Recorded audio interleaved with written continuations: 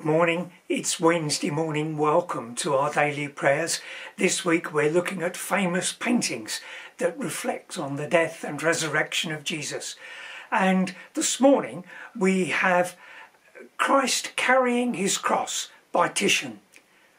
But we begin as usual with our opening prayers. So will you join with me in saying the responses in yellow? O God, make speed to save us. O Lord, make haste to help us. My trust is in you, O Lord. I have said, You are my God. And we say together, Blessed are you, Lord God of our salvation. To you be praise and glory for ever. As a man of sorrows and acquainted with grief, your only Son was lifted up, that he might draw the whole world to himself. May we walk this day in the way of the cross and always be ready to share its weight, declaring your love for all the world. Blessed be God, Father, Son, and Holy Spirit. Amen. So they took Jesus, and he went out, bearing his own cross, to the place called the place of a skull, which in Hebrew is Golgotha. Titian whose little house still sits in a back street of Venice, painted this over 500 years ago. Um, more than any other gospel, Mark records the human suffering of Jesus, not simply the unjust trial, but the beating and the mocking. Jesus, like other prisoners, would carry out his own cross. Usually this is depicted in art as the finished article, but it is more likely to be in practice just the heavy crossbeam. Here in this picture, the man leaning over is an important man, finely dressed. Look at his ring. Thought to be perhaps the man in charge of the prisoners. He is urging Jesus on. As Jesus stumbles going up the hill, the man steps in to force him to continue. He seems to be tightening the noose, rope noose around Christ's neck to coerce, coerce him. The gleam in his eye depicts the uh, gloating cruelty that his power gives him to enjoy making his prisoners suffer. By contrast, the look of Jesus, the signs of his beating and the tear from his eye reflects not only his physical pain, but his sorrow for all the wickedness of humanity. He looks out at us to remind us that we are responsible for his suffering. Titian actually painted a mirror image of this painting, but with the man here replaced by the kindly face of Simon of Cyrene, helping to carry Jesus' cross, an image of Christian service, reflecting Christ's charge to us to take up our cross and follow him not an appeal to stoicism that can put up with bunions or arthritis, but a call to self-sacrifice.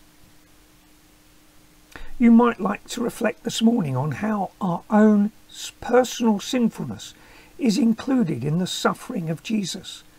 The times when we have been wielded petty power, inflicted unnecessary sufferings on others by our words or our actions, rather than showing self-sacrificing love.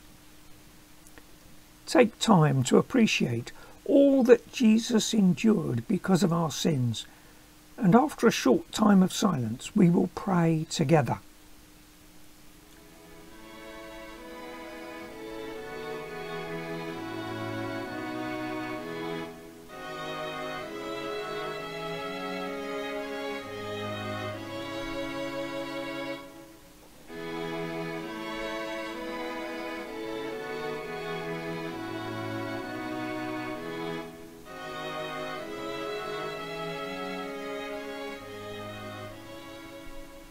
It seems right this morning to have a prayer of confession. So will you join with me as we say, Lord Jesus Christ, we confess we have failed you, as did your first disciples. We ask for your mercy and your help. Our selfishness betrays you. We failed to share the pain of your suffering. We run away from those who abuse you. We are afraid of being known to belong to you. Lord, forgive us. In your mercy, forgive us. Through the willing sacrifice of Christ our Lord. Amen. And may God forgive us through the cross of Christ. Amen.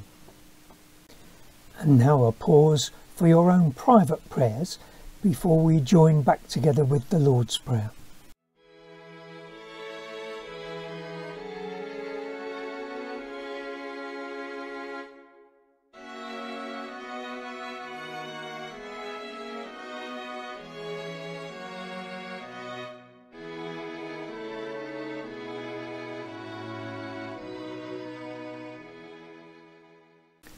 And we draw our prayers together as we say together the Lord's Prayer.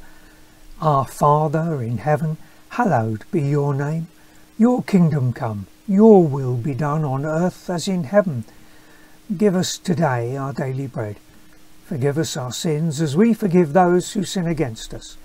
Lead us not into temptation, but deliver us from evil. For the kingdom, the power, and the glory are yours, now and for ever. Amen.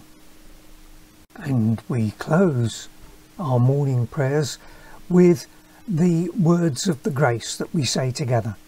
May the grace of our Lord Jesus Christ and the love of God and the fellowship of the Holy Spirit be with us all, now and evermore.